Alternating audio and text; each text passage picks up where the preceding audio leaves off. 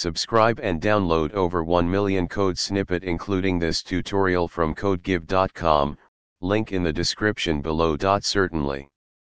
Below is an informative tutorial about handling the system cannot find the path specified error in Python, along with code examples. In Python, the system cannot find the path specified error occurs when the interpreter cannot locate the file or directory specified in the code. This error usually arises due to one of the following reasons. Ensure that the path provided in your code is correct. Use the correct syntax for file paths and check for typos. Use the os.path.exists function to confirm whether the specified file or directory exists. Ensure that the file or directory has appropriate permissions set for reading, writing, or executing, as required by your Python script.